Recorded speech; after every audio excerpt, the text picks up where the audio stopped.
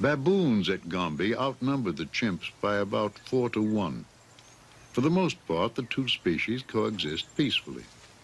But the baboon is a competitor for food, and friction can arise.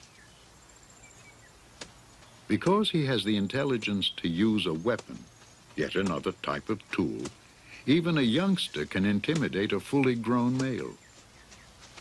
The bluff works.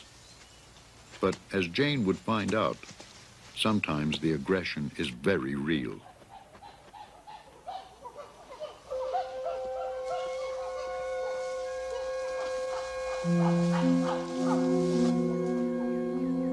A young baboon has been captured and killed by a group of chimps, and they will feast on its remains.